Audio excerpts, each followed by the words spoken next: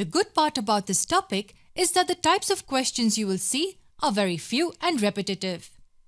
One category is that of forming numbers. We will be given a few digits and will be asked to form numbers. For example, with these six digits, we could be asked of how many three-digit numbers we can form.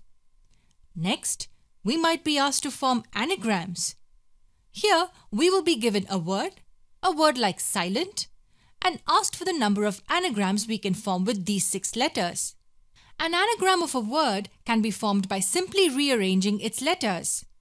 An anagram of silent would be listen. Another anagram would be ESITLN. What does it mean? Nothing. It's a meaningless anagram. It won't work in Scrabble. Another category of problems would be that of arranging people. We could be asked the number of ways in which we can seat people on four chairs, or maybe arrange them around a circular table. So in this session and the next few, we will be looking at the first category, arranging digits to form numbers. Let's say we have these five digits with us. And this is what we're asked. Read the question well. How many three-digit numbers can be formed? Let's form three slots here for the three digits. How many three-digit numbers can we form using these five digits?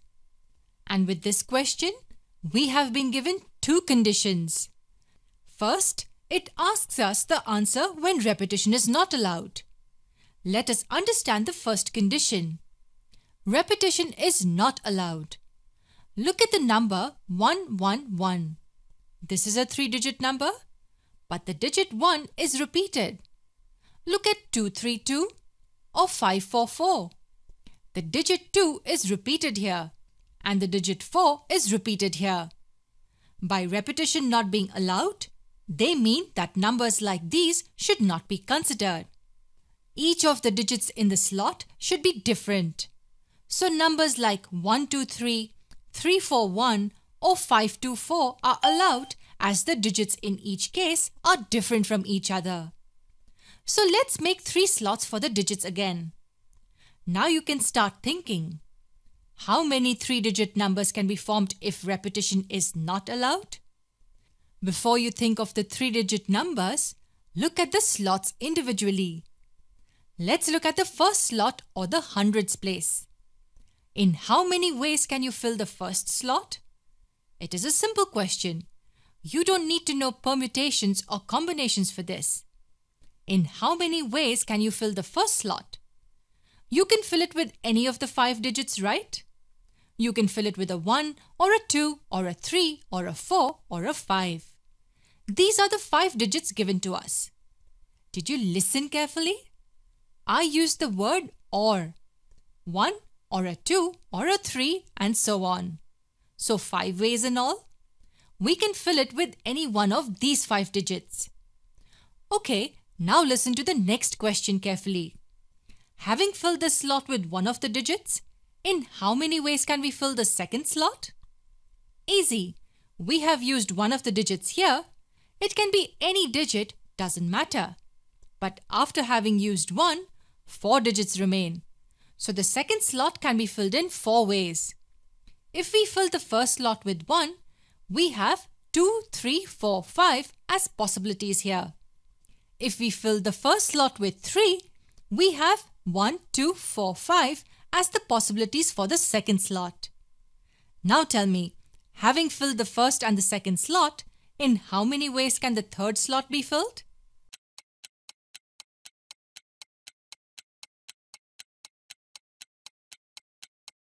It's simple. We have used up two digits here. Only three remain. The third slot can be filled in three ways. We're almost done. Almost. The first slot can be filled in five ways, the second in four ways, and the third in three ways.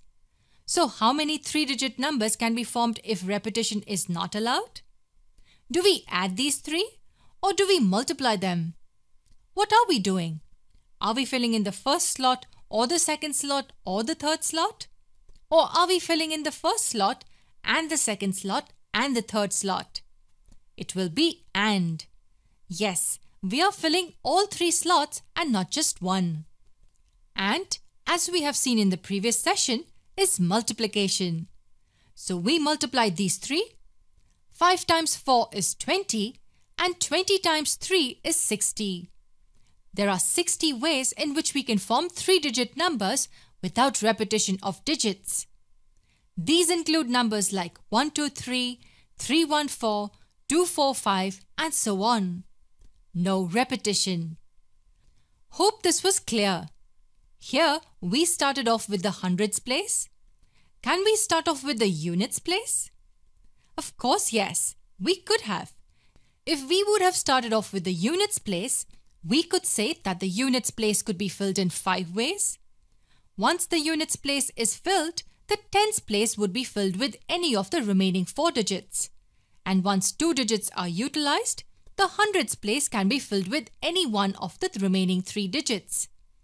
3 times 4 times 5 will also give us the same answer 60 ways. If you really understood this, then understanding the second stated condition would be super easy. Let's repeat the question on a new page. This time we solve the question keeping in mind the second condition. Given these five digits, how many three-digit numbers can be formed assuming repetition is allowed? So now we are allowed to consider numbers like 111 or 322 and so on. So we have three slots for the three digits. How many three-digit numbers can be formed when repetitions are allowed? I want you to try this. Remember, repetitions are allowed. So now we are allowed to consider all numbers which we had ignored earlier. We should have the possible numbers greater than 60. Try it.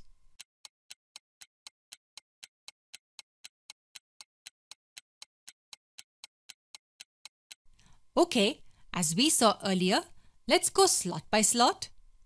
In how many ways can the hundreds place be filled? It can be filled with any one of the five digits we have. It can be filled in five ways. Now in how many ways can the second slot be filled? Think well.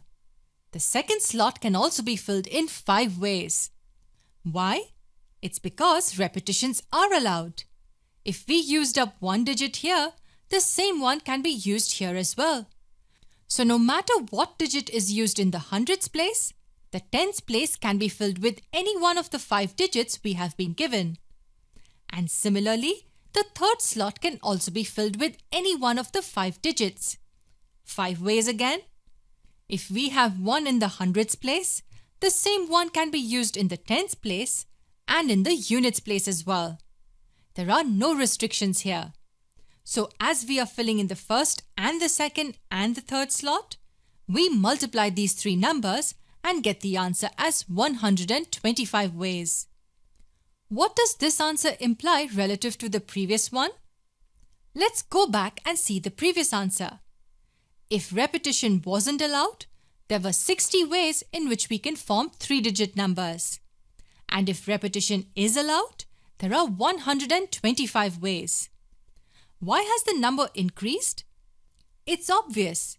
Here, apart from the no repetition ones, like 123, 314, 245, we have allowed numbers like 111, 222, 434 and many more like them to be considered. So I hope both cases are clear. Repetition allowed and not allowed. Which case do you think is easier to solve? Think. It is the repetition allowed case. We don't have to worry about any of the conditions given. It makes life really easy and you will realize why when you watch the further sessions.